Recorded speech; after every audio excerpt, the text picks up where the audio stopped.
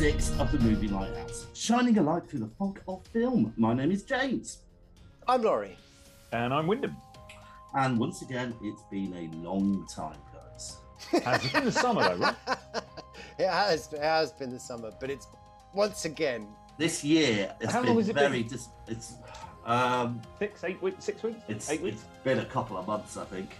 Um, yeah. So Damn. to put it in perspective, this is um, episode four of season five. So we've done four this year, and the next one's going to be Halloween. Wow. That and that, Has it that's the done- beginning of our season, though, isn't it? The Halloween episode is kind of like season. don't well, what do you- what do you- kind of, but I, I, I have to, well, guess I don't know really. Oh, I shouldn't have. I shouldn't have said anything. Sorry. Yeah. so that means it's our holidays. It's our it's our birthday episode today. Hey, Yay! right, guys. that kind of stuff creeps up on us, right? Yeah, um, we'll have a pep talk. I think after after the show, you guys need to step up a bit more. I think. Yeah. Well, we don't have broadband yet, so that that might be challenging. How are you connected to our faces now, then? Yeah, mini Wi-Fi. Ooh. What? So it's it's it's just like an EE mini modem Wi-Fi Eee. phone chip thing. Yeah. Um, but it just means that the data is way more expensive than uh, than if you've, you're actually connected to a broadband system. So um, Is it yeah, pumped in via Putin? Yeah, no, but there are there are two burly young men stripped to the waist pumping it in as we speak. and when I they get say, you are looking pretty sharp, actually. yeah, when I, when they get tired, I disappear. All right, I'm just telling you. Right. well, Well, It's a very clear signal. I'm reading you loud and clear, honey. Cool. oh, thank goodness for that.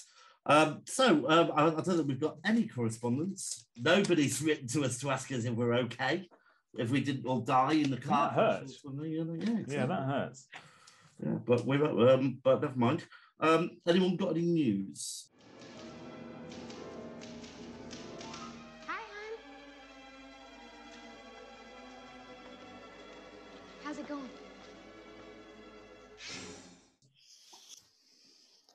So No. much news of the movie variety. I've got a load of. What we got? Let me- Mm. Oh God. Do you want to do you wanna guess who's on my death list? Uhura. Yeah. Yes. Ding. Oh, hold on.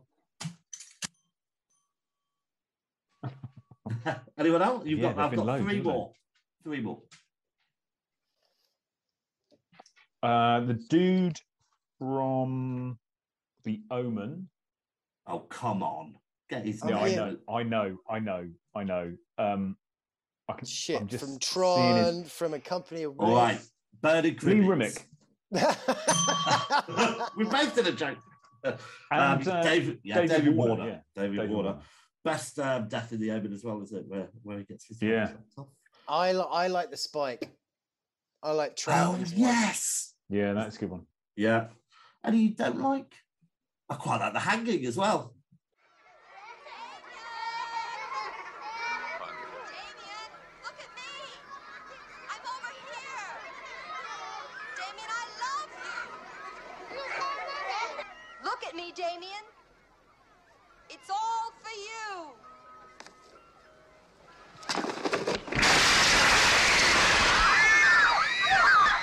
Hanging's They're great. all pretty good. Mm, Yeah. great. All right, yeah. So Bernard Cribbins, yeah, he died. Um, Oh, man. sad. And another, and we've got another one. If anyone's interested, this time it's a lady.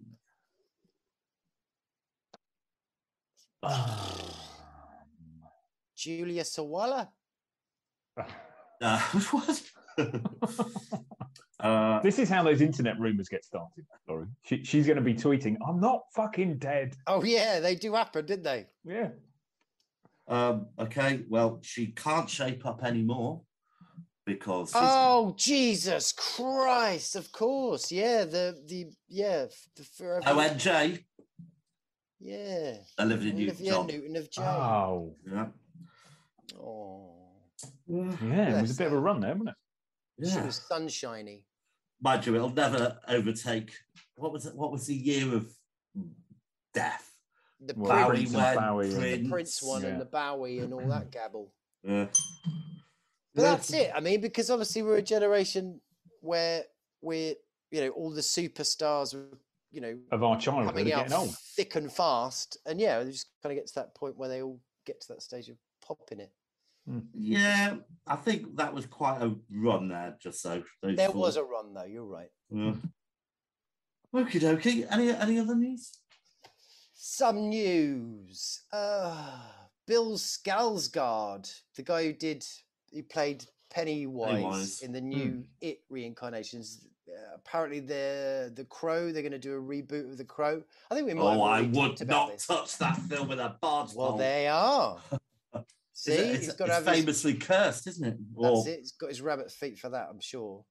Um, what else did I see? Do we Yeah. care about that? Uh, Oh, that seems like it- an odd don't- film to reboot. Is he a martial artist? Do you, does he need to be for the crow?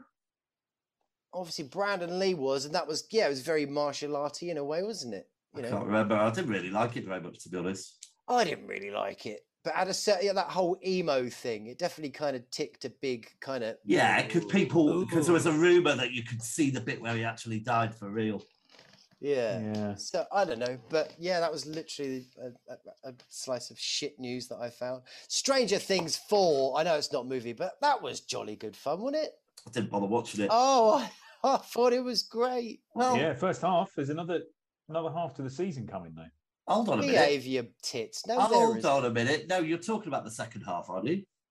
Yeah, I've said the whole Oh, of Stranger ah, Things yeah. 4 So is ah, done. this, So I watched the first half and it was all right. And then I don't think I've got any need to watch the second half. I don't have any um, broadband to watch the second half. So li- literally, literally, we haven't watched any TV for since we've been in it. So three and a half, nearly four weeks now. Wow. So, Do you uh, miss it? Do you? Not- No. I did a little bit today, this afternoon, Oh. after I'd packed up my uh, my work for the day. I, I there was a moment when I thought I could just flick the telly on. Yeah. Uh, and instead, I read a book. Oh, what did you read? I'm Oh, we reading could check- we Black could- House Oh, Peter Straub and Stephen. and Stephen King. Yeah, never read it before. Oh, And having Well, read all of the Dark Tower stuff, and it's like, oh, hello. well, maybe Bit we should link to tur- that. turn this into a, a book podcast instead. Maybe we should. yeah, I could contribute. Meet once a year with any luck. All right. Um, um, I've got a little bit of news. Uh, so, uh, Derek Hammer, who, um, no, Derek Hammer, I always get, get his name wrong, the director of The Woman in the Chair.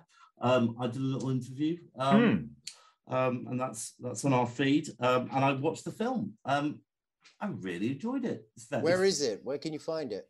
Um, that anywhere basically. You could it's you could download it from um, various sites. Just type in the woman in the chair and the website and stuff like that.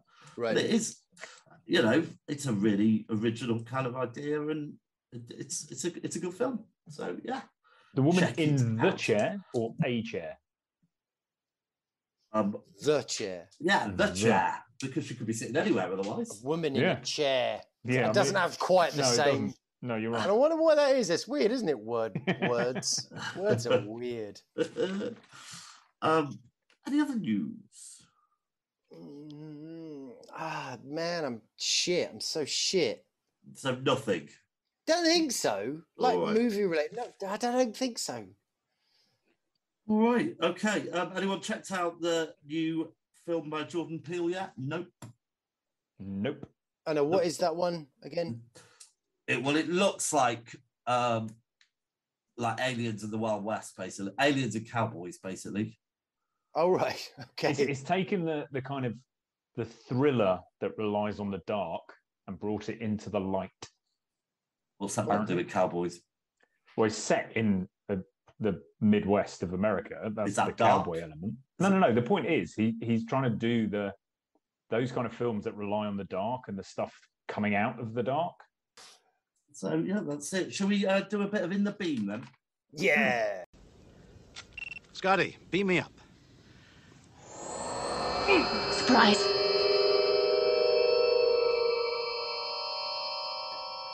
All right. So uh, Wyndham, the man with no television. Yeah, and I do I do have an on the rocks, but unfortunately this month I do not have an in the beam. Oh, okay. What a shame. We came to you first. Uh, Laurie. Yeah. So I'm, I'm going to flag uh, a film I bumped into probably only a couple of nights ago. Uh, it was a film for Treat, and they gave us 2018's um, Video Man. That's Video Man. It's a Swedish film directed by a guy called Kristian A. Soderstrom. Soderstrom, sorry. Kristian A. Soderstrom. Video Man. Um, basically, it is, is set in nowadays, but you've got this dude who, back in the days of video shops, video stores, he had like the best video store in the 70s and 80s. And every, you know, really heralded, super, super famous. Everyone went to his place, blah, blah, blah, blah. Anyway, as like many of us, he hasn't really moved on and he's still holding on to nostalgia. Hold on a minute. Wyndham's not got a television, and I downloaded. No, I think we've both moved on.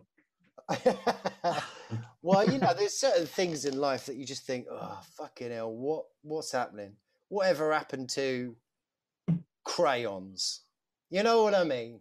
Do you know what? I wasn't going to bring this up, but you forced me into it now. Go on. Right. So J.R. Southall's uh, Blue Bo- um, uh, Strangers in Space podcast, which is prim- pri- primarily all about Doctor Who. In And the time, podcast. the time that we haven't been together, I think they've reviewed about 30 different films from a range of genres um, with a range of guests, uh, breaking down each one into minute detail.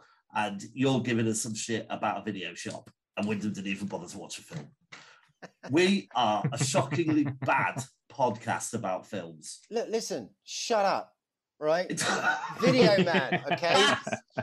So he's down on his luck now. He hasn't really got particularly any money whatsoever, but he's still holding on to his kind of his hobby. You know, he's got his collection. He's got all these great, amazing VHS videos. He's he's a drinker. He's got a drink problem. Anyway, something happens where he gets um, a copy of a mega mega valuable uh, film called Zombie, and it's a real film, and it is really you know pricey than that.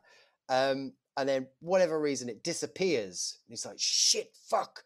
So he ha- he makes this list. He basically has to hunt down all these people that could have stolen it, um, because there's this really scary kind of buyer called Faceless who says, "I will buy it off to you for ten hundred thousand euros."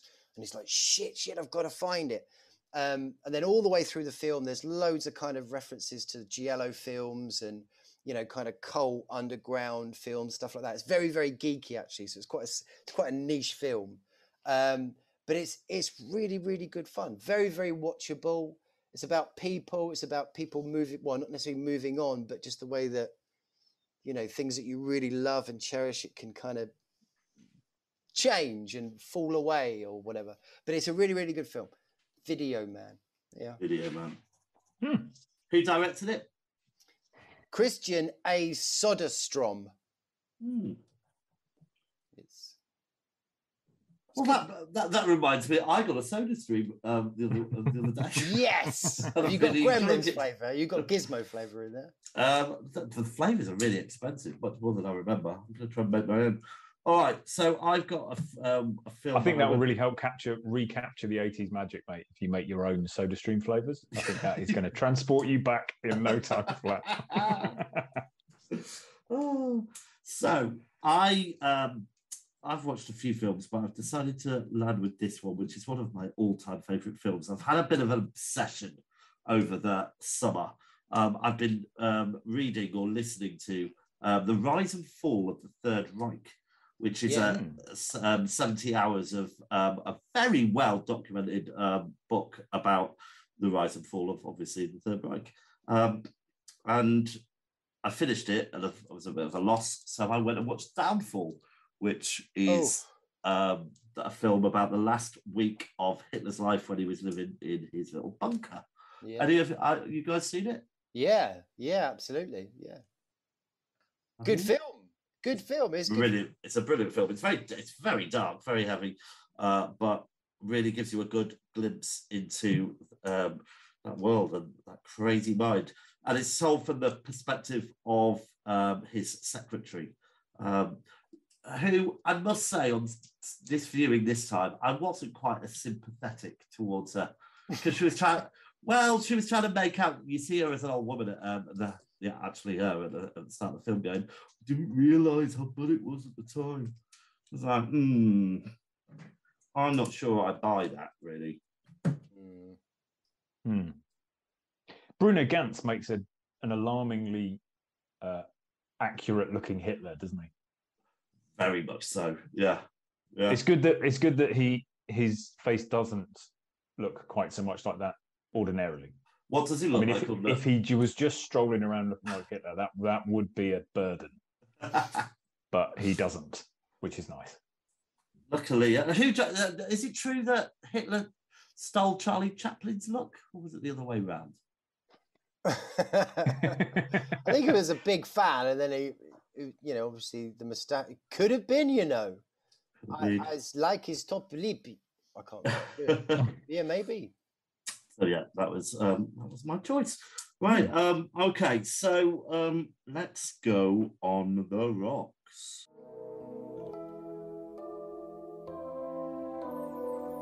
Love on the rocks. Ain't no surprise.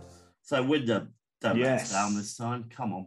So, bearing in mind that the world is full of superhero movies, Mm. and even old dogs want to learn new tricks. Do you hear that? On the Rocks is Sylvester Stallone's Samaritan. Samaritan. The marathon. Yeah. I never even heard that. Oh, heard of that. jeez. Straight to some such. I can't remember whether it was on Prime or on Netflix. Um, but it is set in the aftermath of two superhero brothers, uh, Samaritan and Nemesis, Uh, having a fight with each other and both dying. And then 25 years later, Sylvester Stallone is working on a garbage truck because it's in America. Uh, and this kid is sat there going, I fucking think you're Samaritan. I think you're the Samaritan. I think you survived. I think you're amazing. And it's utter pish. It, oh, Christ, it's bad. And given that, I think, I, I can't remember whether it's written by Stallone, but he won an Oscar, right, for Rocky. A very long time ago. Yeah, No, but and the I point think it is, was quite a does weak that- year. does that talent completely die? Yes, is the answer over the last 50 years or whatever it is. Um, yeah. Because it, oh my God, it is so crap. And his ability to act has got worse. He was like Well- doing weird, unnecessary arm. It was like mm, mm, mm, with his arms. It was very weird. It's all those suppo- action figures. They're slowly taking over his actual body. You know what happens maybe. with those dolls, didn't you? Yeah, yeah, maybe that was it. I And, suppose you know, I arthritis must be suppose- setting in. I suppose the argument as well is if you're going to write your own film, um, so and therefore write the character you're going to portray, um, you could just write it like you are in real life, so no acting required. yeah, good point. And that's Yeah, what he he does, does in real that. life. He goes "Rrr," with his arms. Yeah, you're Yeah, going to keep yeah, it natural it's this not very time. good. Don't Now don't you're now it. you're seeing Stallone. Now you're seeing him. I'm I'm sick of these masks I'm wearing. He says to his wife, slaps her. No, doesn't do that. But yeah, sorry. Okay, and this is how those rum- rumors start on Twitter. Right. Although apparently she he's just had a tattoo of her face tattooed on his arm, and she's just left him. Not surprised. I, I don't know am whether those not two things are linked. See, I saw it there because that, that was the slap, and that was the imprint of her face on his arm. He pretended it's a tattoo, and she had to go. No, okay, It's- all right, fine, don't worry. It's not a very good film. It's not a good theory either. All right, um, Laurie. On the rocks. Um, I'm going to say this one, but it totally really doesn't deserve to be on the rocks. But it's a film called Flashback from 1990, starring Dennis Hopper, who's in some real stinkers, but you still love him because he's Dennis Hopper. And in this hold on a again, minute. Hold on a minute. Oh no, I'm thinking of the wrong film. I'm thinking of Irreversible, which is horrible. Sorry, Karen. Flashback. Dennis Hopper and Kiefer Sutherland. Kiefer Sutherland's an FBI agent, and he's got to track down this hippie activist who basically, I think he deserted from the army or something like that. Are you It's sure quite- this isn't Point Break you're talking about?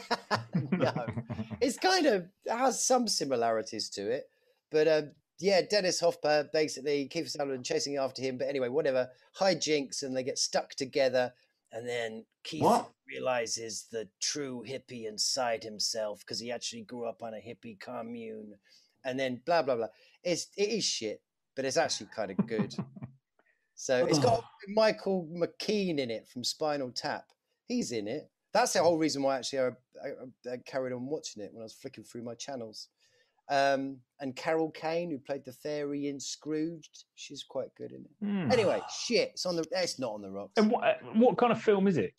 It's kind of like a. If you were to genre it, yeah. comedy heist.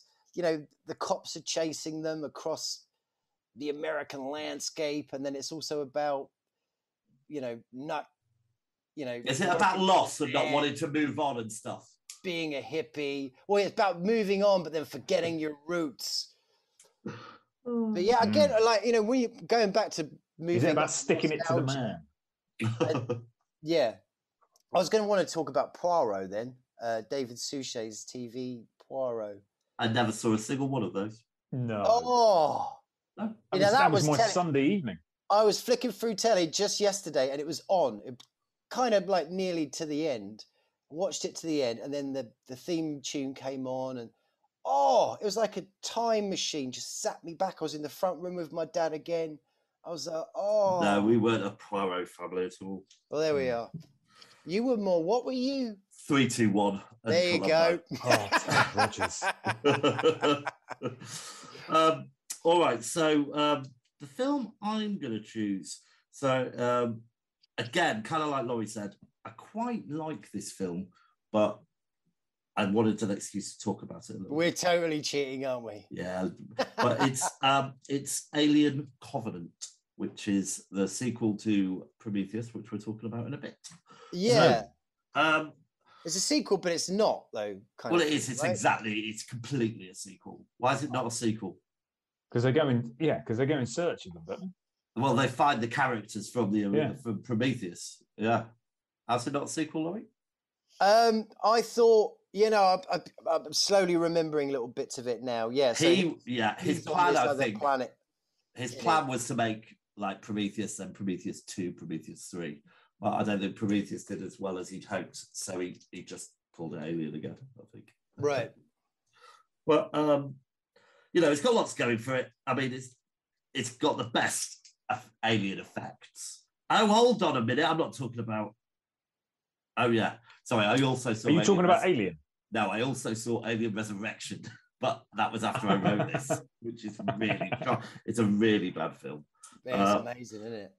Uh, but yeah, I just, I just think it's just churning out more shit that we don't need. Really, didn't go anywhere. So. Well, that's the thing. Or maybe kind of, yeah, kind of sort of tie this into our review of Prometheus if we can. I should think we'll be able to there's do a lot about Prometheus initially. I don't want to go into it too much, but I really didn't like um, for ages and ages. And now I had to sit down with a pen in my hand. Slightly different. Well, I'm sure we'll get there very soon. Um, all right, well, let's end this little section on a high. Um, David Cronenberg's got a new film coming out, hasn't he? Have we all heard about this? Yeah, we've got Viggo Mortensen in it, isn't it? And um, I don't know all the details. I think I said it actually last episode. It has been a very long time. I think I mentioned it. Um, But it sounds it sounds quite Crimes of the Future. yeah. Viggo Mortensen, Lea Seydoux, Kristen Stewart. Yeah. Mm. So maybe that'll be a nice palette. And do we know what it's about? It's Crimes about of the the Crimes of the Future, Wyndham. Yeah, got it. Good, thanks. It's, it's about. I, th- um, I think people. No, I start don't need any more, growing mate. No, no. brand new organs that they've never had before, and then they try and own them. Something along that line. I don't know. Mm. Like a All right. KFC. So I quite like a KFC. Right, should I've we had one in a long time. Oh, well, good for you. Unlucky fried kitten. All right, so let's move on to our feature, which is not Video Nasties, which I've got written here. What about the hmm. trailer? Look, look, look, look out the window. What about the trailer, trawler? Look.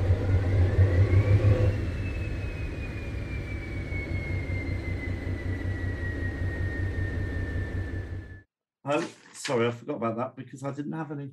Was Who's got- there? Who's got a trailer? Well, I saw the what's it called? That the, the the the Hellraiser, the new of Hellraiser For what now? trailer. The new Hellraiser trailer. There's a new Hellraiser film, Laurie. There's a new Hellraiser trailer film out. Is it a film, Laurie? yeah, it's going to be a film.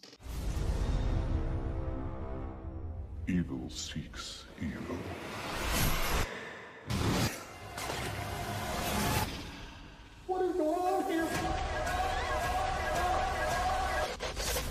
Let's just dive in, shall we? know, s- Uh. small kind of aesthetic and very seven as well.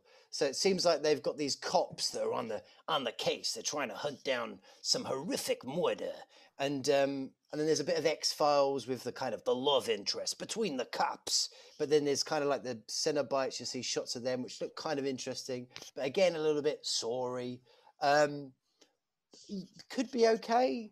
Um, You're not selling it very well. Yeah, and and the plot summary on IMDb is in this reimagining of Clive Barker's seminal Hellraiser franchise, a young woman must confront the sadistic supernatural forces behind an enigmatic puzzle box responsible for her brother's disappearance. That's Ah. nearly exactly the same as the first film, Yeah, except it wasn't a brother; it was a uh, father, was it, or uncle, I guess. but it looks like this uh, artwork. But like a- I say, way the way that it could just be the editing of the trailer, but you know, it's got that kind of sort of jumpy sepia kind of feel to it. It reminds me of like Insidious or you know, See like what the, the way they've or that kind of reimagined it is they have made Pinhead a woman, Ah, which I don't have any issue with. It's, No. That seems to be the big change. right. That's kind of Yeah. okay. Betty? Well, good for them. But that's the thing about Hellraiser. I mean, like what I really loved about the first two, it's just really smelly. It's just Mm. really icky and But this is the problem. I, I Mm. mean, I doubt either of you have read the the, the, the short story that it's based Oh, on. behave. Uh, but I don't think the Cenobites uh, are, are actually. I don't think Pinhead is described in the book. I think that was a concept made for the film. Not quite, maybe going out on a limb here. But my point is, if I'm correct, which let's assume I am, Yeah. Why would we do anything else? it's a pity that they didn't come up with some new ideas. Well, there's there's definitely new Cenobites in there for sure. In the Um, trailer. my favourites were the Cenobites that were created in Hellraiser 3.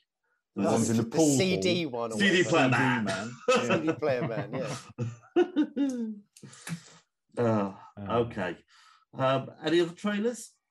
Oh, That's God. all I've. Michael Flatley's got a film out. Have you heard about this? Yeah. Oh, my Lord. Check that trailer out. Is today the day you wish to confess your sins? Not today. My sins are my own.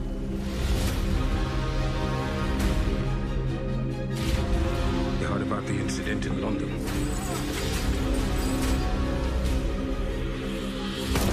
Blake Molyneux is extremely dangerous. This is our chance. We must get Victor involved. No one can do what he does.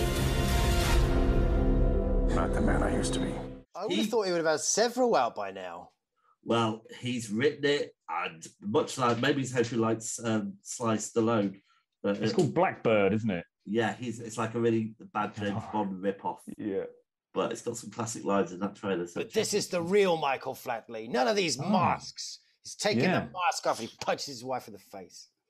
What is this with wife punching? this is because you went to an all-inclusive. That's what you do when you take your mask No, off. I'm sick saddled of your it. brain. Saddled So- your brain. Um, have you read the plot?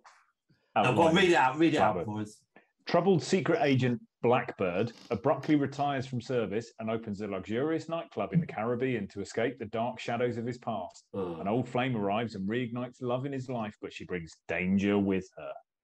Ooh. Oh my Ooh. god, that sounds. That's. Barry Manilow's Cl- Club Tropicana. No, it's not Club Uh, Tropicana. uh, Copacabana. Copacabana, isn't it? But who shoots who?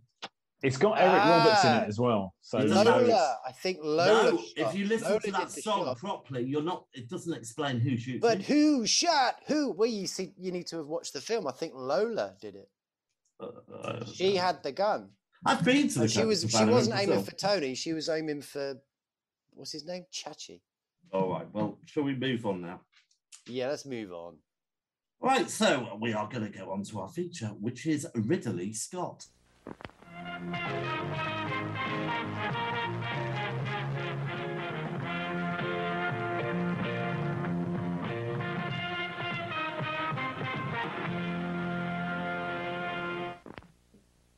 He's such a Ridley Scott. He's so Ridley. All right. Now I've got it here that my first film is The Duelists. So should we do that one hmm. first? Yeah. If you like. All right. So before we get on to that, I'm going to give you a bit of information about Ridley Scott. He was. Is that is that I Ridley love Diddley this. Scott? um, he was born. Anyone want to guess what year he was born? 1852. In Oh, fiddly, fifth, eh, 1959. No, the 30th of 1937. November. You're cheating. Yeah, 1937. Uh, born in South Shields. Um, uh, he read H.G. Wells as a child. You might be interested to know. H.G. Wells. Oh, yes. Okay. He was originally assigned to design the second Doctor Who serial, The Daleks, which would have entailed realizing the serial's eponymous alien creatures. However, shortly before he was due to start work, a schedule conflict meant he was replaced by Raymond Cusick. Now, anyone know who Give it- Raymond Cusick is? No, I want you to divulge, please. Well, this is Bring us whole bloody point. So, Terry Nation um, was the writer behind the Daleks, um, and he wrote four lines basically saying, evil squid like entities in a tank with things, blah, blah, blah, blah. Okay, that was his description of the Daleks. Raymond Cusick went um, down to his workshop in B- at the BBC and designed that Dalek Mhm. and got paid about £8.50. Terry Nation um, made millions because they, he was the writer and he was the owner. And because um, Cusick worked for the BBC, he was just on the, the house wage. payroll. Yeah, so Yeah. there we go. And they were, they were based on the Balinese dancers because they glide across the floor. That's literally the similarity. So, so what? Let me get this straight. So Ridley Scott was going to be directing the. no, he was no, he was going to design the Daleks. Oh right, of course, because he was a designer. All right, and then it fell to our dude. Oh, okay, cool. Yeah, I wonder what they'd have looked like. Hmm. Also, just another, which you aren't asking for, but I'm going to tell you anyway. Um, um, in uh, the the set for Alien, directed by Ridley Scott, um, after they finished it, Doctor Who pitched it, and they used it in a very bad episode called um, Warriors of the Deep. Fantastic. What what what set? Do you know? Are you aware of it? Yeah, the the there's only one set really, is it? It wasn't a big fucking alien spaceship. It was a spaceship where the alien was sort of in the What the whole like all the corridors and stuff The like li- that, or just the cryo chamber or the kitchen or what? oh yeah. Um, I don't think it's the kitchen, but um, it was kind of the walls really, the space walls. Right. Space walls. Yes. got you now. That's all we had to say, not the set, the space walls. All right. Um, and top five grossing films of Ridley Scott. Who can tell me? Gladdy twatter. Yes, and I think that was a bit mean. So it was seen as though it was Oliver Stone's final film. No, not Oliver Stone. What was his name? Ollie Reed. Reed. right. Anyone? Uh, anyone? Uh, anyone? Uh, Gladdy twatter. Um, Thelma Aliens and got in Louise. there, isn't it? Thelma and Louise. no. I know Elliot's not in there. Stop cheating, Wyndham. I can see you. uh, I'm just okay. always good at cheating, so I- I'm still yet to pull up his filmography. So filmography. we've got Robin Hood, 2010. What? Jeebus. Well, anyone will go see hello. Who's shit. seen that? Wyndham and Louise went to see it in the cinema. What? Did you go? Did you go see it in the cinema? Robin Nobody's seen that. No. You went. Oh, okay. You were seeing a lot of films around that time. I was trying to do my best. Maybe Hannibal. while- Hannibal, the sequel Oh right, yes, yeah. That I uh, Oh. was going to vote for that one for us to review that one. um, Prometheus and The Martian. Oh right, the Martian. Yeah, yeah. That was good fun. Was it? Yeah. Right, guess. uh, all right. So we are going to start with film number one, which is his number first film. Actually, it's called The Duelists. So before we do anything else, let's have a little clip. The duelist demands satisfaction. Honor for him is an appetite, an obsession to kill. No apology is accepted, no quarter given. Only death will satisfy honor. You have insulted me! I have strained my patience in order not to do so.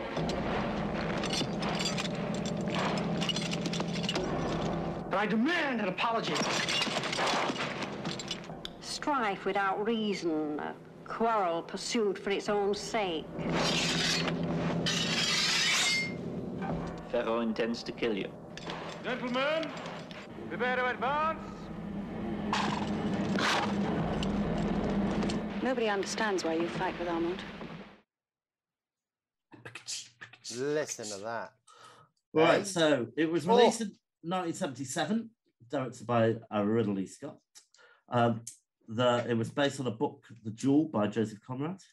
Uh, the screenplay was by Gerald Vaughan Hughes, produced by David Puttnam, music by Howard Blake, budget £900,000. Uh, anyone want to guess, wh- if you don't know, how much it made at the box office? One million pounds. Six million. Six million. Yay! Did very well. Uh, and it gets 92% on Rotten Tomatoes. Um, and we have got Keith Carradine as Armand de Hubert, Yeah. Harvey Keitel as Gabriel Florent, Yeah. Albert Finney as Joseph, blah, blah, blah. Edward Fox as Colonel Pertley, Yes. Cristina Raines as Adele, Robert Stephens as Brigadier General Treillard, and Tom Conti as Dr. Jacquin. Yeah. And that'll do, I think. Uh, don't recognise anybody else. What about, what didn't about John recognise- McEnery as Oh. amiable second? Yeah, go on. No, Who? that's it. Well, we've got John- Pete Postlethwaite as Treillard's Yep. orderly. Yep. First feature film appearance. There you go. And you've got Alun Armstrong in there, who I always mistake for Pete Postlethwaite. No, I don't know who that is. He's I- a guy who looks a bit like Pete Postlethwaite. Okay. He in this he is um Hubert's confidant mate Well, that isn't Tom Conti. let's ask Laurie to tell us a bit about what happens in this film with his one minute synopsis. Napoleon rules France. Strasbourg, 1800. Um, there's a couple of duel, uh, what? dudes dueling in the morning dew. Hold on a minute. Are you reading this? No, actually, I'm staring at a word that says Marios. Oh. it, it just seems, Seems to like be helping. It's seems- taking me yeah, straight back to the coherent. That was all. so anyway, they're in the morning dew. They're dueling, and then one of them gets it. He gets gotten, and he gets gotten by Harvey Keitel. Um, and it turns out the guy that got gotten. Oh no, sorry, I was mistaken because we are still in the first two minutes of the film and we've run out of time. Of Like, it's a king. film about dueling all one of the lords. um, during the time of. and then basically Napoleon because he did the nephew of one of the big important people, they send out Keith Carradine to arrest him, to take him in, to tell him off. All right, stop. right, so right, I've got a confession to make. Um, Go on. I watched half of this film and thought it was the worst film I'd ever seen. but Jesus Christ. I realised that maybe I wasn't concentrating, so I rewatched it and it wasn't quite as bad. The second Oh time. over. wow, that's good. I was, I was, Yeah. hoping that was gonna. Well, I was thinking. I've um I, I've got a confession to make. You haven't watched it at all, have you? I've watched an hour and ten minutes of it, Okay, that's it. and then I, I have in my notepad. I do not care. Yes. Oh Wyndham, my god! Wyndham, I've got I this just- written all the way through. I, I, just, it's it's a film about a- actually the, the important bit of the synopsis Laurie was just going to get to that this fucking lifelong duel was caused by Hubert doing his duty and oh, Hold on a Gabriel minute. Feraud Did we find out why? I thought we didn't find out why they were Well, doing I, I, I didn't watch the last half hour. However, that's what kicks it off because old Harvey Keitel says, "How dare you, you lackey! You, I challenge you to a duel for arresting me by your general." So they have a duel, and then it's like, "Well, I'm just going to fight you every time I see you now." Oh. Well, look. And I got- appreciate I'm I like you may not have been paying full attention. There may be many reasons because it other people seem to think it's good, but I just sat there going, I don't fucking care. So the book that this is based on is actually based on a true event that happened, obviously back in the Napoleonic War. What you mean? Kind of- Napoleonic War? You mean? Yeah, yeah, yeah. These soldiers, they have honor, right? And the Keith Carradine character, he's kind of like an as- aristocrat, I suppose. He's kind of, you know, he's got manners and da da da. And then Harvey Keitel, he's from the, the gutter, but they're both soldiers. They're both at the same rank, I believe, because Mhm. you can only request a duel from someone if they're of the same, if you're of the same ranking. Um, anyway, so Oh, you're as boring as a film. Keitel has obviously got into this duel with this kind of dude that he probably shouldn't have done. So they they send Caroni to go and Oh, arrest him, stop! bring him Stop! Stop! But stop! You're doing the synopsis again. But Stop it! No! over No. years and years and years, they keep meeting. Oh, it's ridiculous.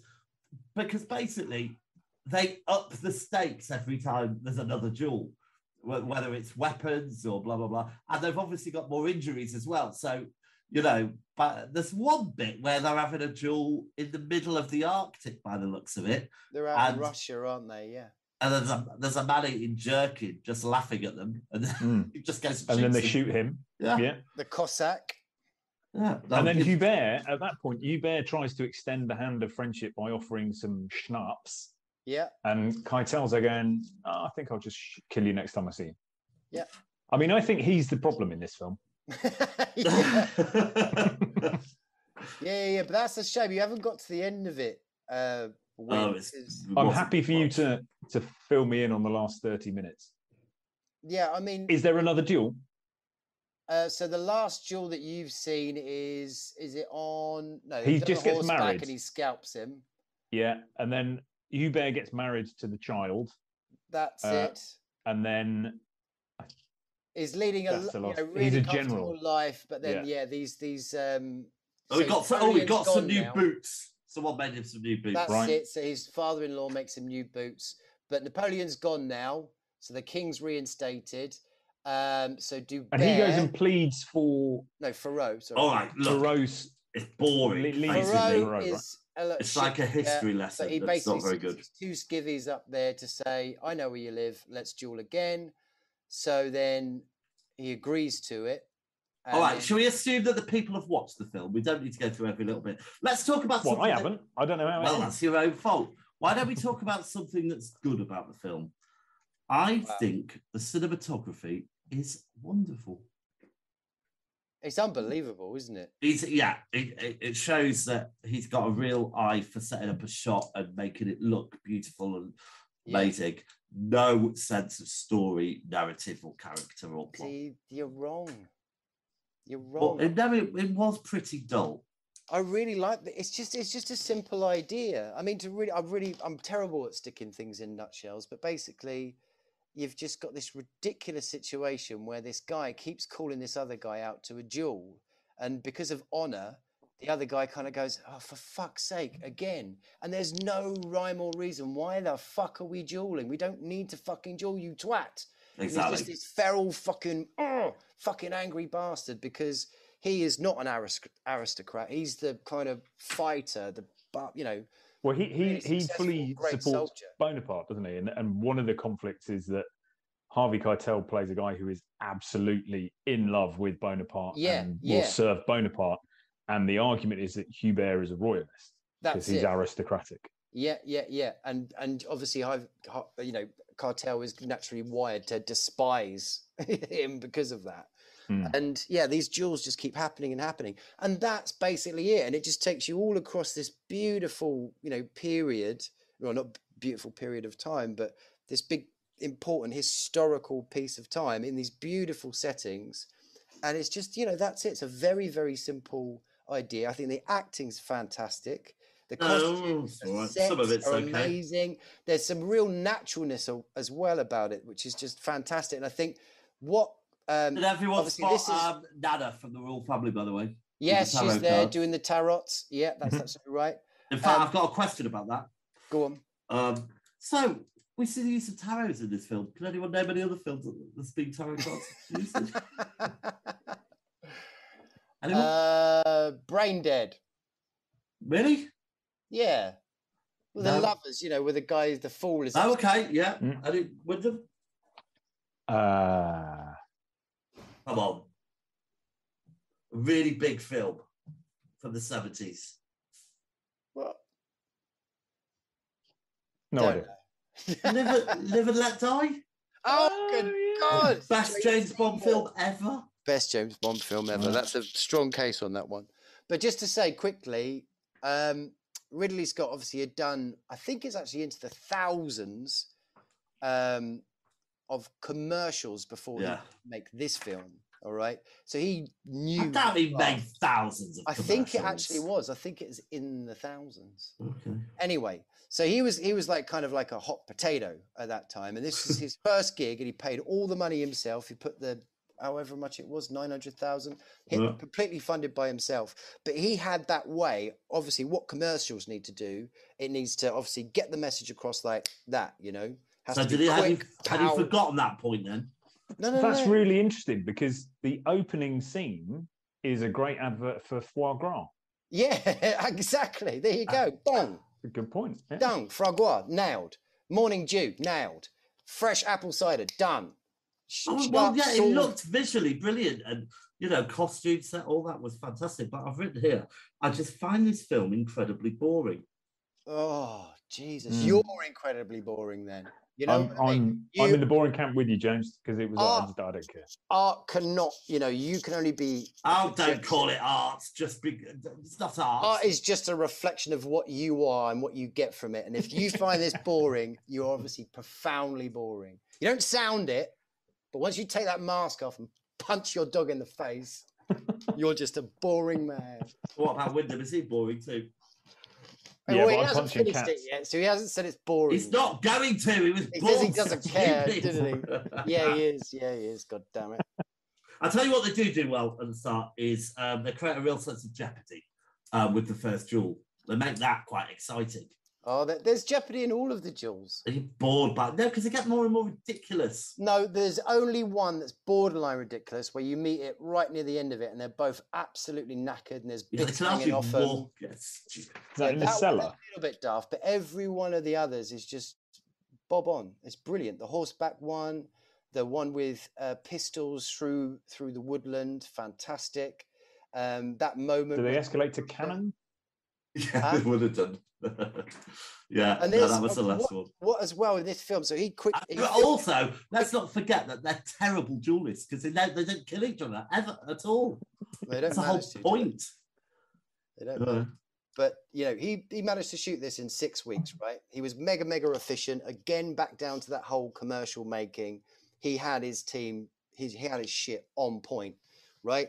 Um, and he filmed it in France, whatever. It was raining virtually every single day, and for normal kind of lighting, people and all that lot, that would be an absolute nightmare. We can't do anything. But he was like, no, we're going to film it, and that basically just added to it. So if you throw kind of light onto like rain or mist, again, it just adds more to it.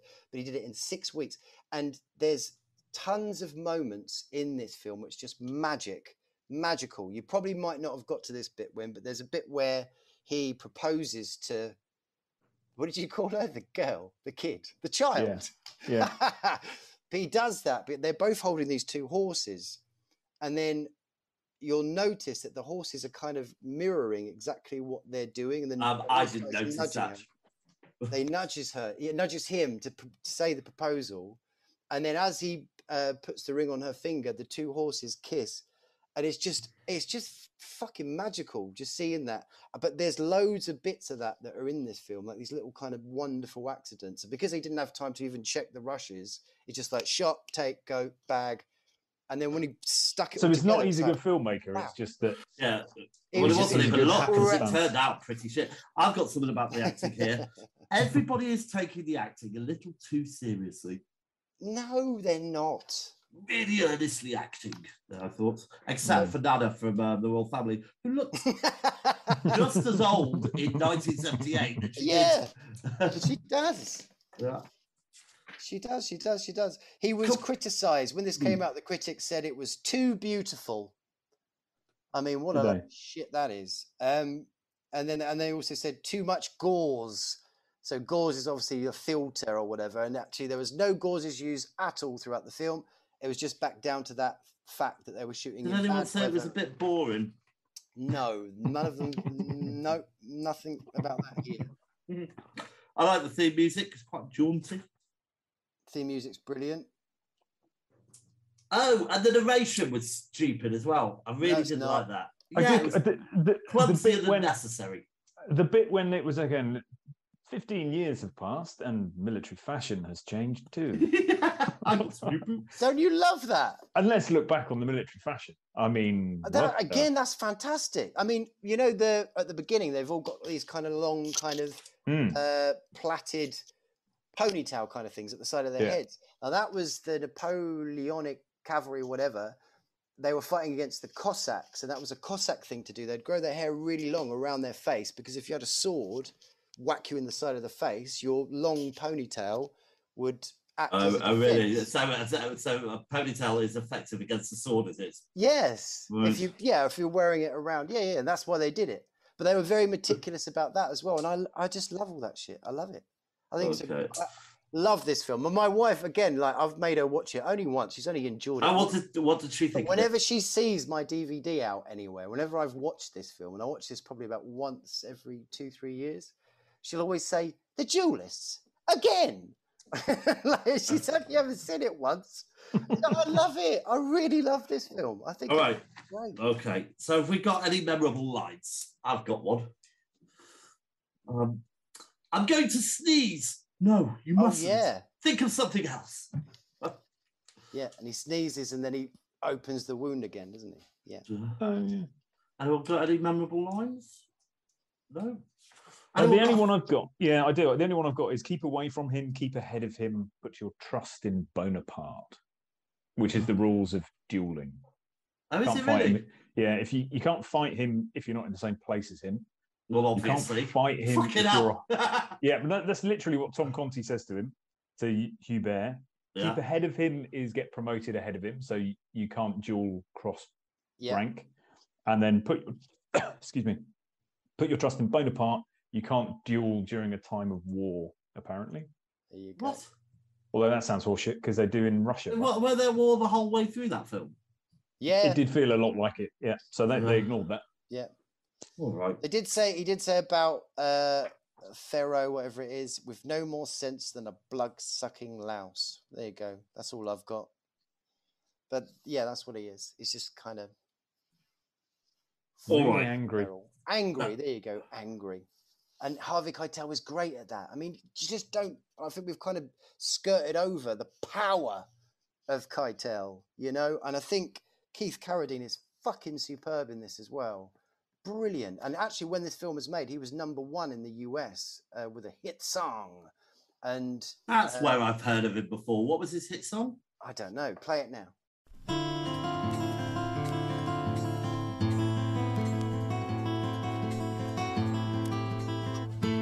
Not my way to love you just when no one's looking.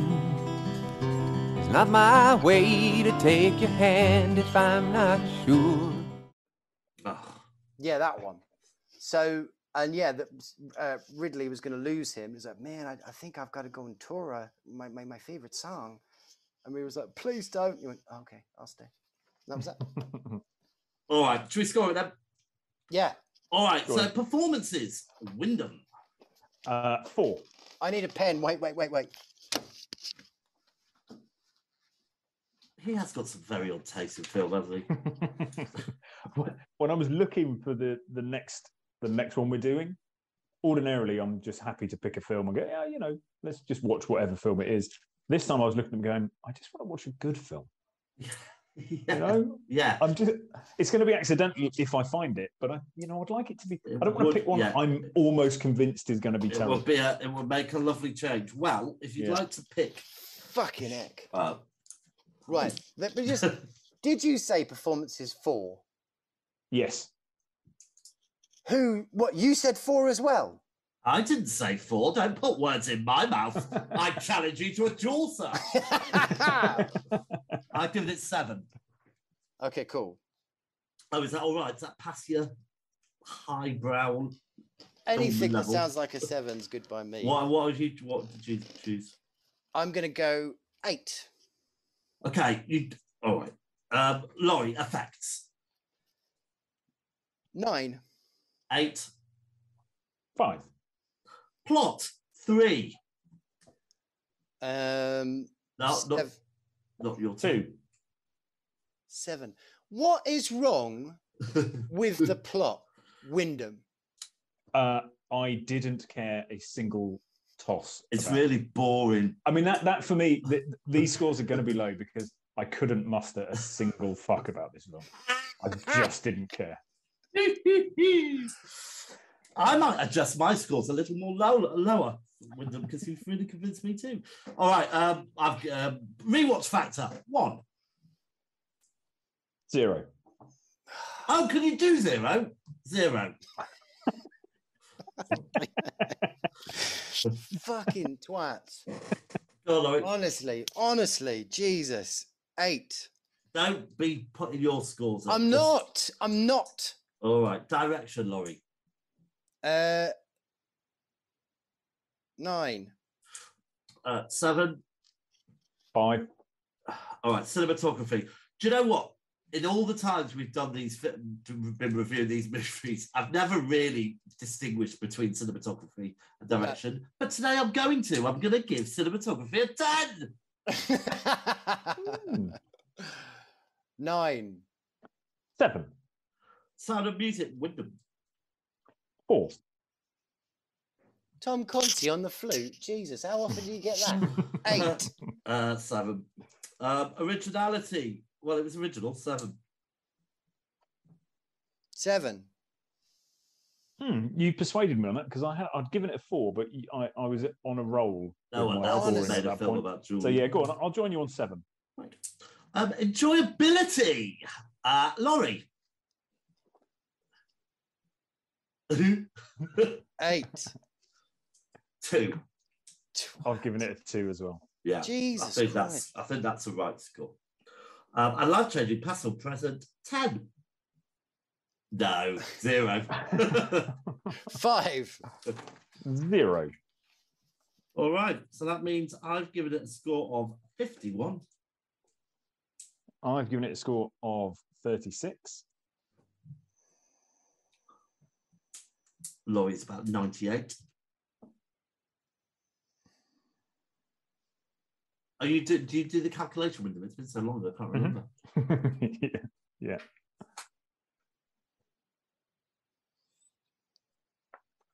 I think one thing this film, like every other film that depicts any kind of war in Russia, is just don't. It's really cold over there. Is it set in Russia? It does do that. No, What- there's a one bit where everyone's Russia. frozen. Yeah. And they're all treadling along. And it all looks beautiful and it's great. I tell you what they should make a film about. That's Love it. beauty. I think they must have. They've done. They, that. well, they did. They've In the, to uh, Tom Baker played him in the 1970s, but I think they could do with an update probably. What's your score, Laurie? 86. Jesus Christ. 86. That's because it's a good film. Uh, brings it in at 57.6 recurring. Okay, so 57.6 puts it on our massive leaderboard in um, seventh place, just below District 9, but above 9. Um, and on our rather larger board, it's getting harder because it's longer now. 7.6. Is it? Does it? Does it not get longer when it gets harder? All right, so it, oh, no, it's well suited here. It's just below Blood Feast, but above Cujo. Can we mark Cujo very low? We did. What? How'd that happen? I really like Cujo. A Theatre of Blood. I thought that was about right, I think. Right. Theatre so, of Blood. Uh, yeah, where yeah, Vincent so Price. Yeah. seven, seven, 76th. So it is in the top 100, just. Oh, dear. Well, let's hope the next film's a little better, eh, Laurie? Uh, He'll, he'll have been practicing his craft for a little while, so you'd expect it to be, wouldn't you? Right. So, but before we do that, uh, we have to choose the ball for two months' time for some reason. Which one do you want? Top, middle, or bottom? Middle. bottom. 27. Strong number.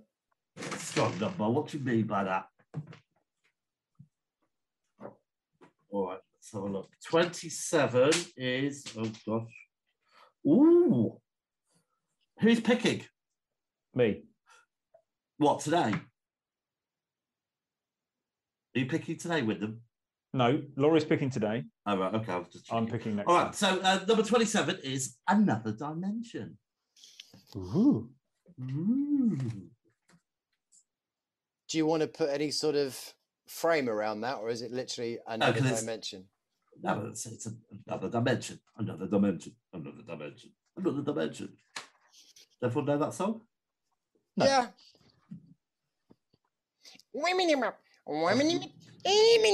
I'm lost. Um, so I'm yeah, so bored. I have to stick to the brief because I'll be picking on this one, won't I? Not picking. I mean, I'll You're be coming up with two films bringing two to based the on table. another dimension. Yeah. Okay, yeah, cool. Right. Okay. So let's move on. We are going to move on to our second film, which is uh, Ridley Scott's Prometheus. Ridley. Okay. Let's have a clip. A king has his reign.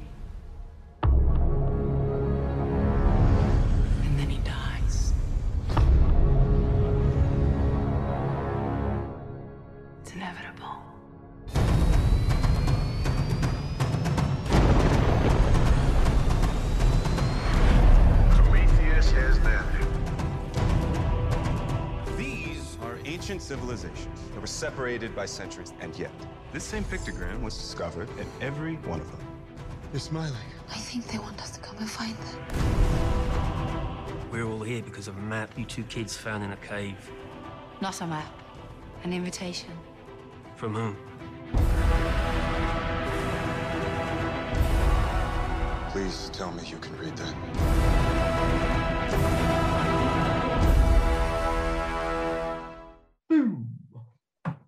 Okay, it was released in 2012 by directed by Ridley Scott.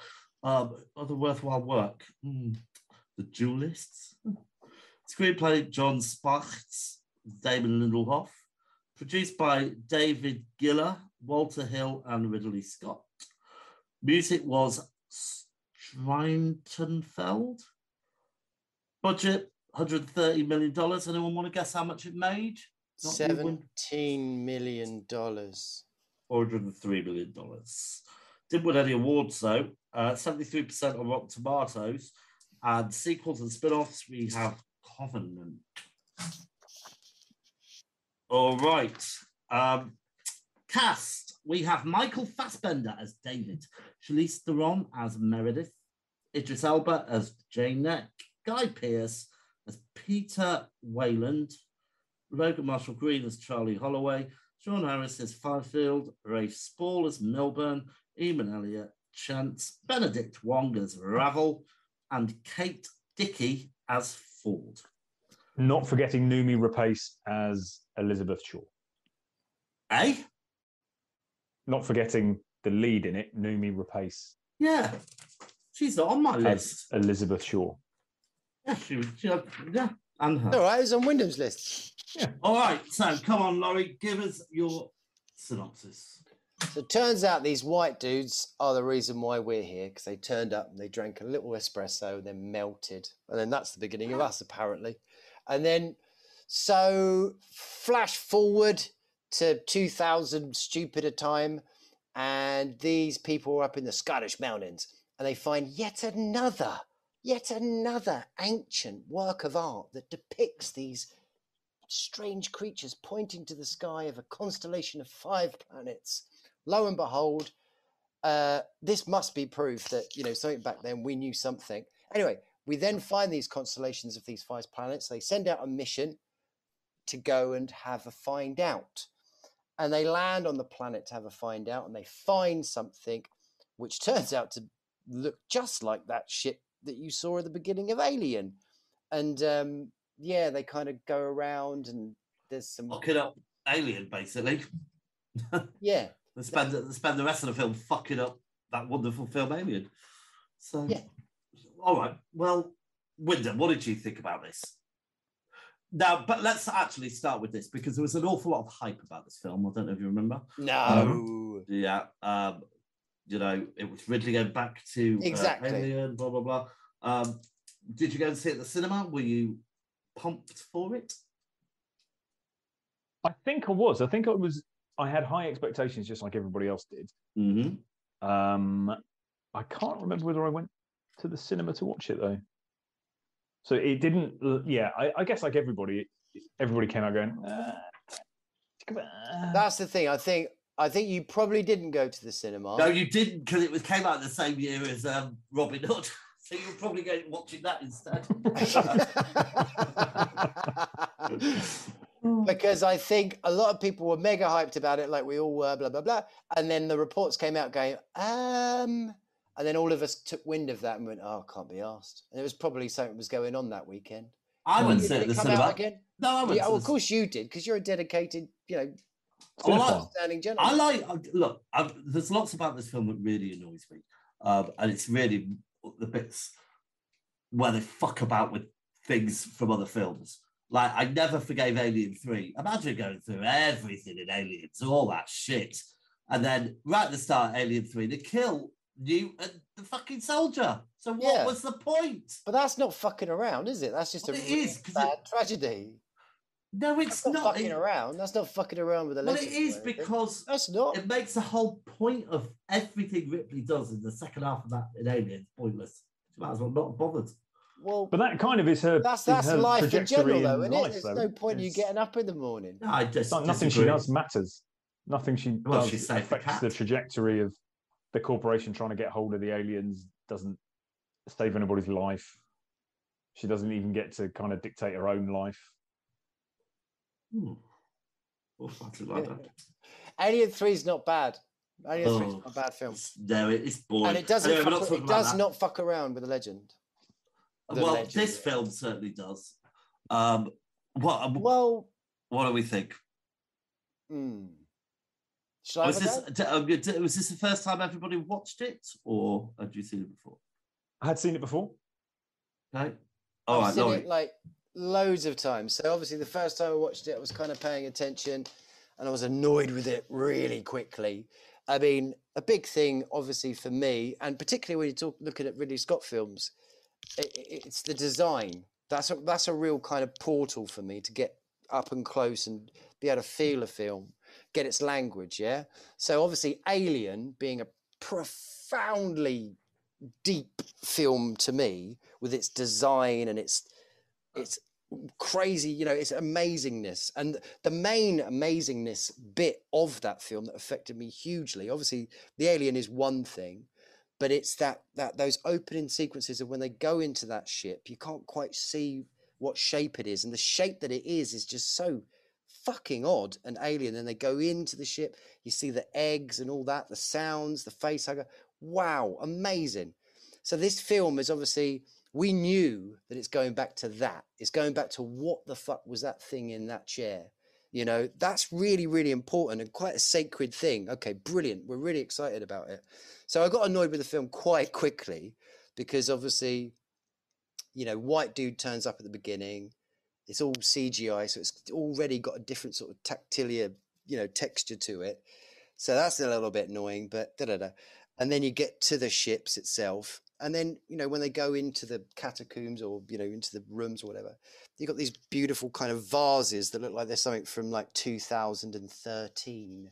You know, they look like they're made by Panasonic or something. All right, all right, all right, IKEA all right, all right. marketplace. Yeah, IKEA or I'm just like that. if So you I'm like. Fuck off. So, did you like it or not?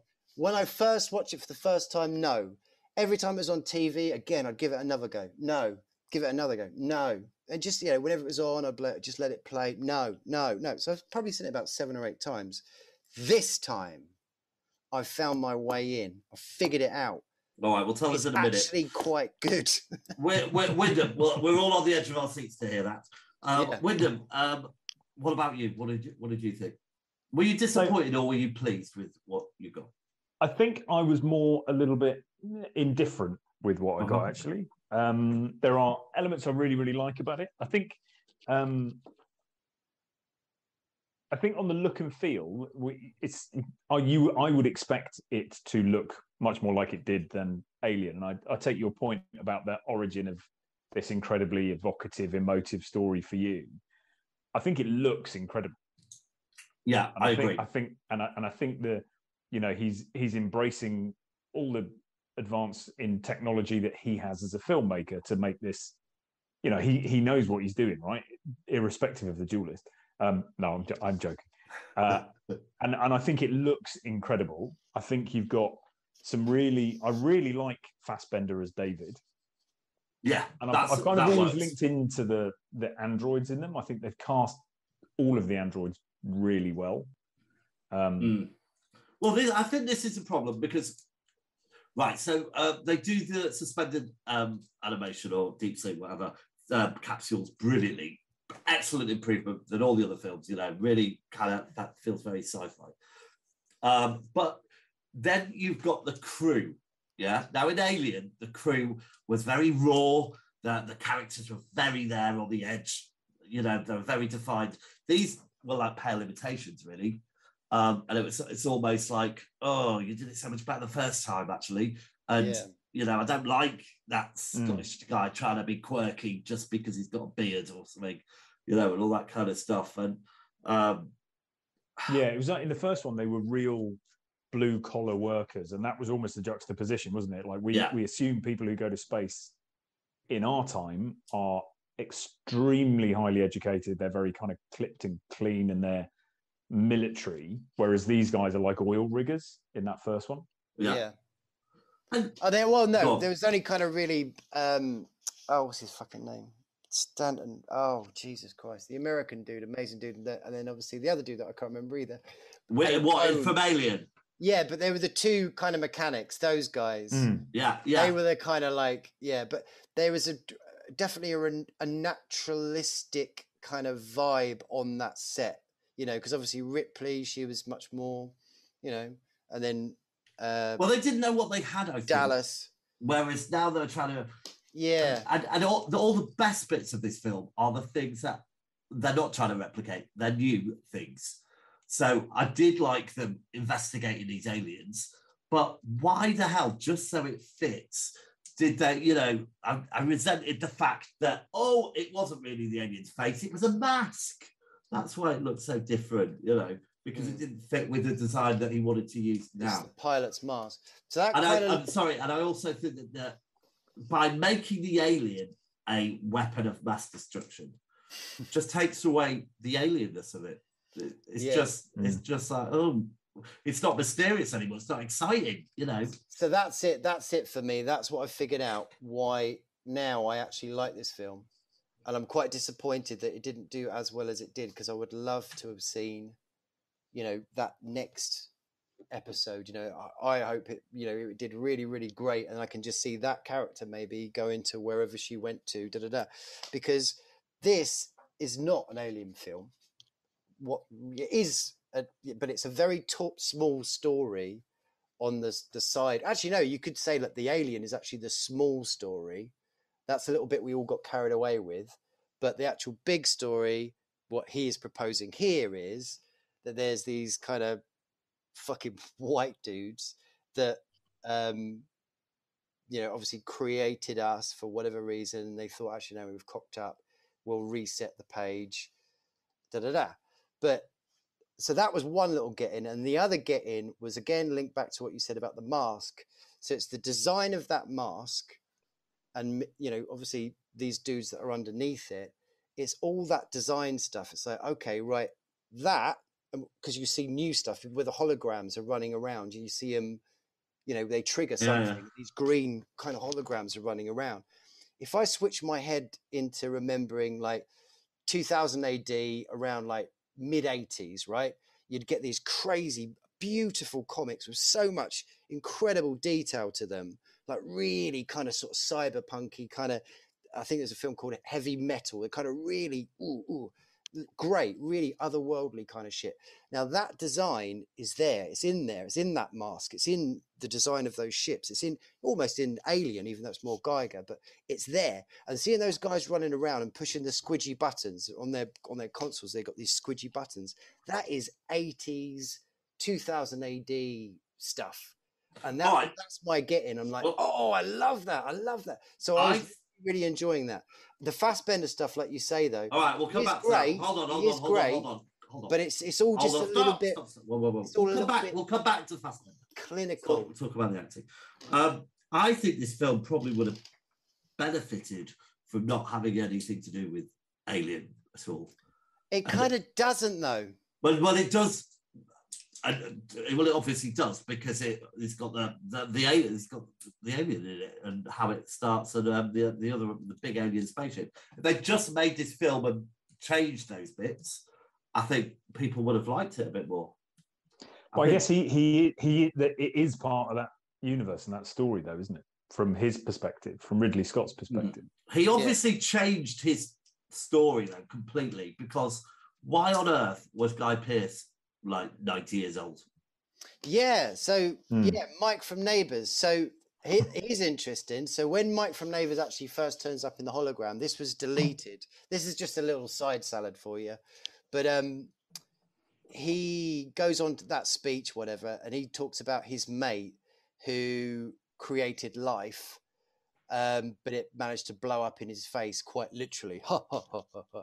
But he's talking about his mate Tyrell, and Tyrell is the rep, the maker of the, The replicants replicants. Blade Runner. Yeah.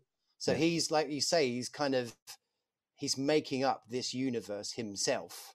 You know, he really. Oh, that, was that bit cut going, though? oh, that's part. Yeah, he did actually cut that out. But again, uh, in Alien, um, you'll see Ripley, and this is the original film made back in seventy, whatever the hell, way before. Well, not way before Blade Runner, because that was the film we did after it. But uh, Ripley goes into this little kind of mother dome Yeah, thing yeah.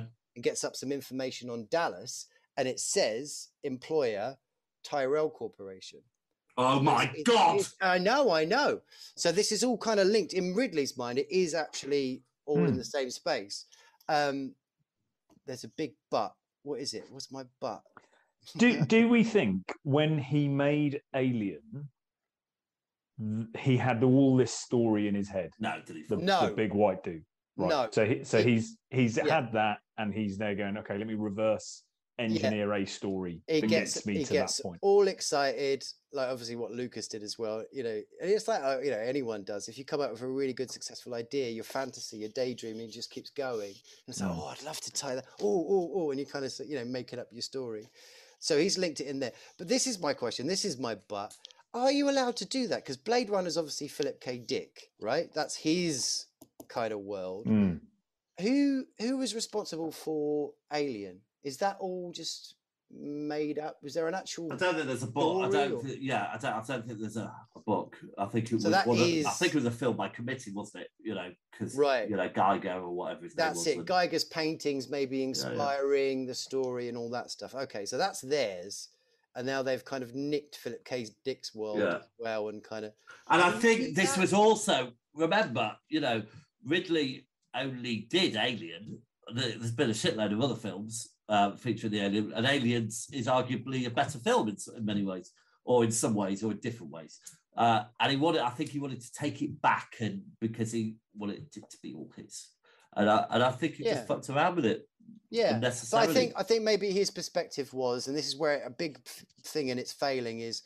He, he he wanted to talk about a bigger story. The Alien is literally like a Mm. Yeah. little side shoot. But I like that story. was going on. I well, like everyone that was. That's all that anyone fucking knew about. That's all that anyone wanted to know about. But then he comes in and goes, "Boom, right, there's these white dudes, right?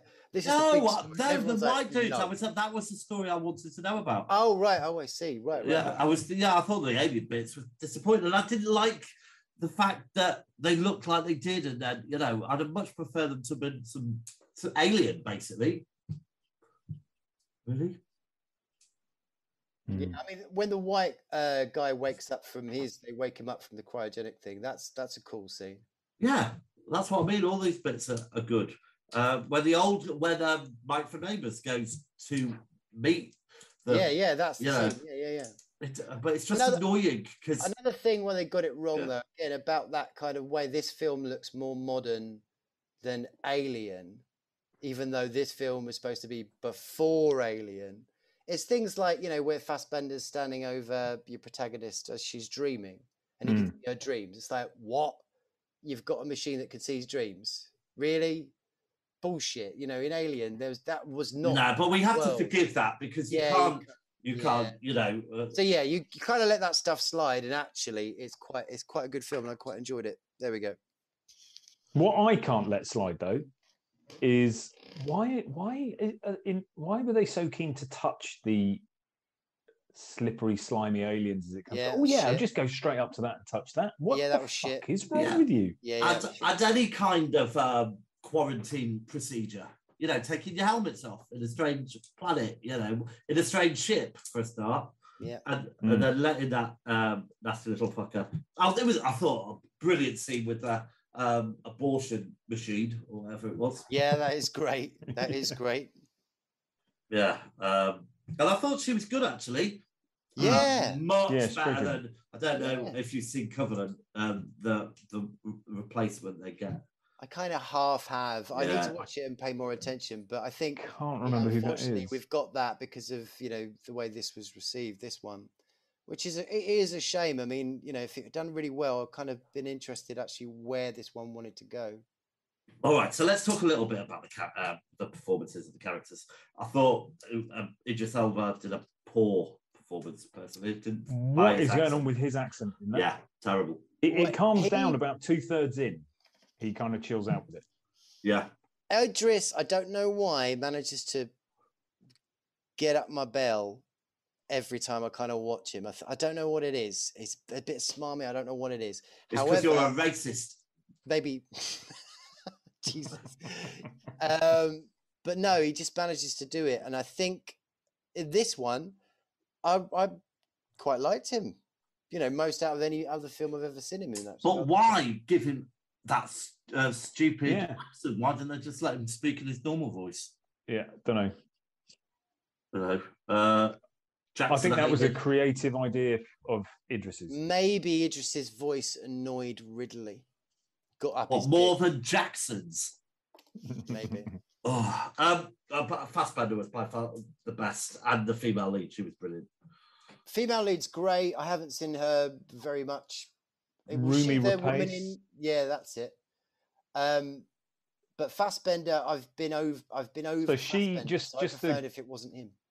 Just to run through, she ha- she played Lisbeth Lisbeth Salander in The Girl with the Dragon Tattoo. That's the yeah, yeah, yeah, yeah. Uh, she was in Sherlock Holmes: A Game of Shadows, uh, Black Crab, You Won't Be Alone, The Trip, Lamb, Secrets We Keep. Uh, So she's been in quite Yeah. a lot, Laurie. It was Just the girl. No, no, no. sort of film. I, I remembered it was the girl from the Dragon Hoo Ha. I thought that's actually what you already said. But I also put a point here about uh, a problem with the characters is that they're all edgy with- each other for no reason.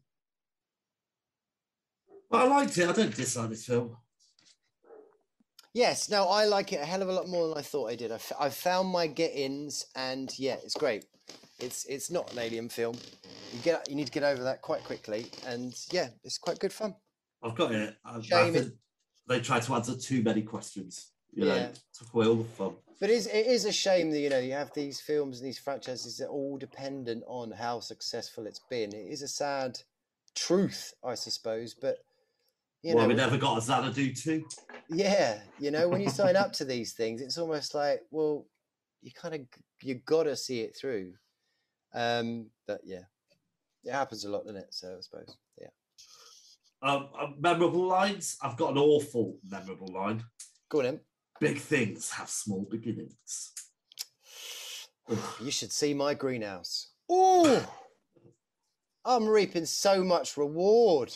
Oh, Deborah keeps trying it though, not finishing it, and then giving it to the dog. What are I you think, talking I think that's quietly aggressive. Just if you're going to eat the tomato, finish the tomato. Please don't give it to the dog. All right, should we should we just score it? Because I don't know what he's going on about now. Right. I think just just finally, they're, they're Yeah. very lucky that the uh, the alien ship takes so long to take off. You know, at the end, when uh, yes, when when Elizabeth Shaw and Idris have uh, and Yannick have kind of gone, you know, we're not going to allow this to get off the planet, and then she c- pleads with Yannick, please just make sure you have to stop it. So he goes, okay, we'll fly our ship into their ship. It takes them so long to get their shit together that they're very lucky the alien ship takes even longer to fly to take off. Has anyone got any suggestions about why the aliens wanted to destroy humanity after making it? Because we, the crankies. And Dabby Doty. All right, performances. Laurie, Um, seven. Ah, seven. uh, I give it Seven. four. I give it seven. Four. Yeah, there was some bad, really bad performances that pulled it down. I thought. Okay. Um, effects nine. Mm, see, effects No, are a big factor if I had a problem with this film. So they, I think they got it wrong on quite a few points with the effects. So I'd say six. What exactly? It's just, it's just that fluidity. It's like it's not connected enough to Alien. They should have been a little bit more clever, a little bit more kind of organic with their effects. Uh, plot. I've given it seven. Six. Um, yeah, seven. Uh, rewatch factor. Lo- uh, Wyndham. Three. Six. Seven. Direction, Laurie. Um, it is a bit blocky, isn't it? But Yeah, but it's it's badly. okay. Yeah, he's. I don't think he's an actor director. Six. Watch I- Thelma and Louise. They are. Yeah, he is. I've given it six as well. Uh, I've gone for seven. Cinematography nine. He's done it again. Uh, seven. Yeah, I've I've gone nine. Yeah. Uh, sound of music, with Wyndham. Eight. Seven. So um, originality three for me. So he was brave. He was brave, wasn't he? So eight. He was going after the big questions, definitely. Um, seven. Enjoyability seven. Five. Seven. It keeps it keeps going. Yeah. Uh, a life changing personal present six for me. Zero from me. So because of this watch, it has yeah, it's given me a good slap around the face. Actually, don't take things as what you really think they are. So I'll go six. Can I just point out, Laurie, we virtually scored this identically, which means it just goes to show how vastly wrong you were with the Duelists. yeah, 60, right. Right, I've given it 65. 61.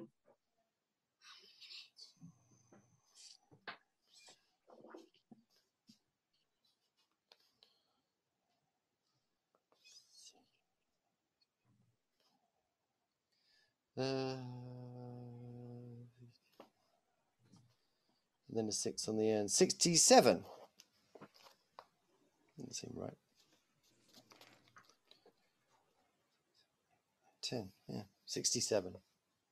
Which gives it a grand total of 64.3. Right.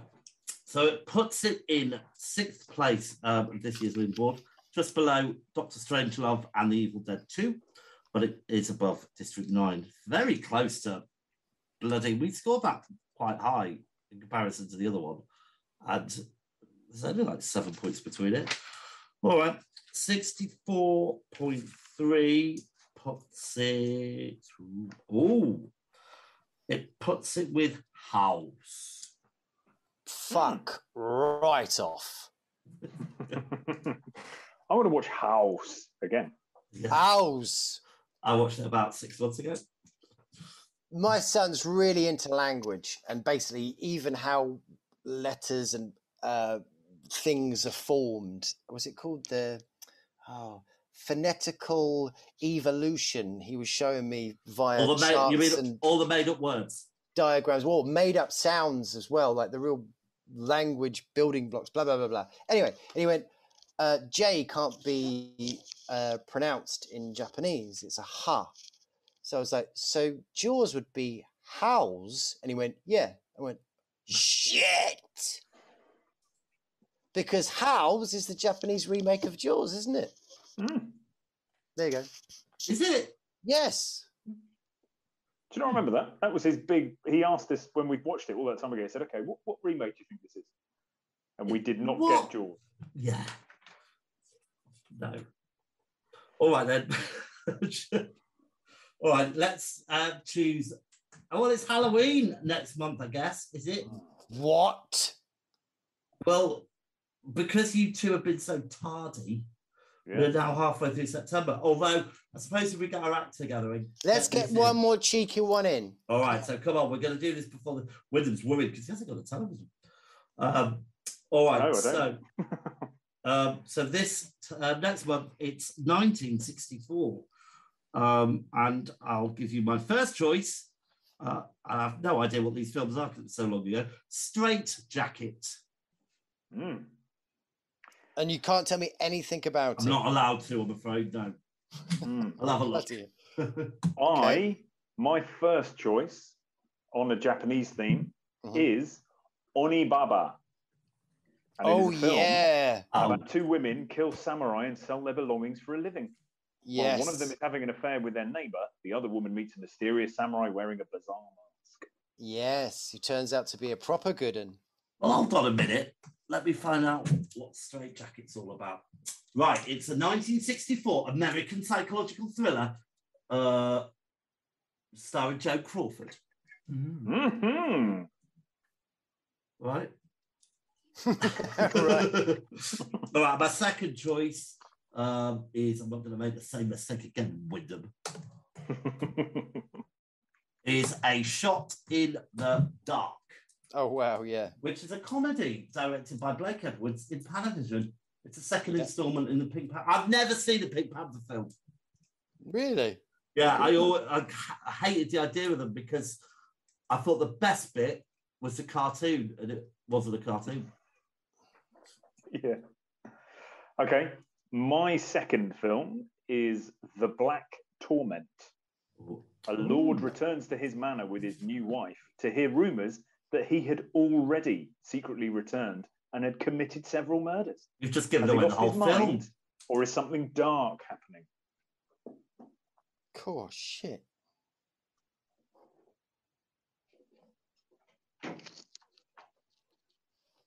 Right. The Black Torment. Oh. I'll just choose his films. I don't give a fuck. Don't drag it out. They're obviously really good. well, no, I'm interested in Straight Jacket. I'm thinking that one might be in the bag. See what Jones did in the bag. Joan Crawford is in the bag. All right. See what I did there, with them. I did, That's- yeah. and he fell for it. Further oh He fell oh, time. for it again.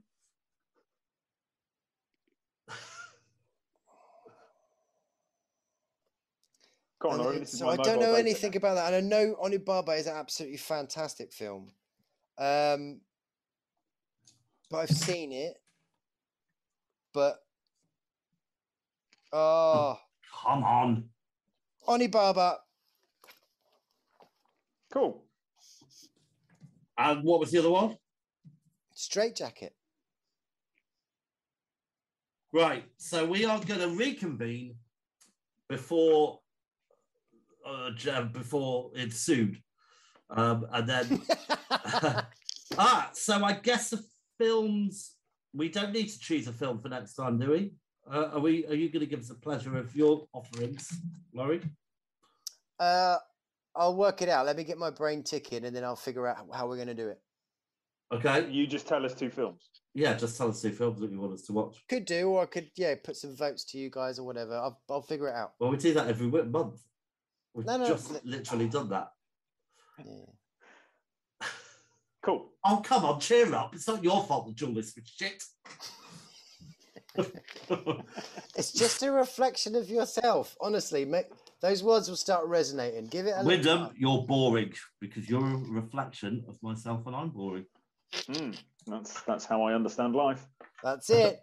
My ears are so hot. Mine are, mine are pretty hot now as well.